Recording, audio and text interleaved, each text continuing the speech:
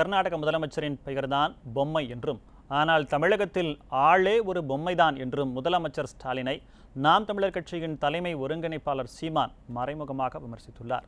கன்னியாகுமரி மாவட்டம் திங்கள் சந்தையில் அக்கட்சியின் சார்பில் நடைபெற்ற ஆர்ப்பாட்டம் ஒன்றில் பங்கேற்று பேசிய சீமான் வைரங்கள் வீதியில் நிற்கின்றன என்று தனது கட்சியினரையும் மண்ணாங்கட்டி மேலே இருக்கிறது என்று ஸ்டாலினையும் மறைமுகமாக விமர்சித்தார்.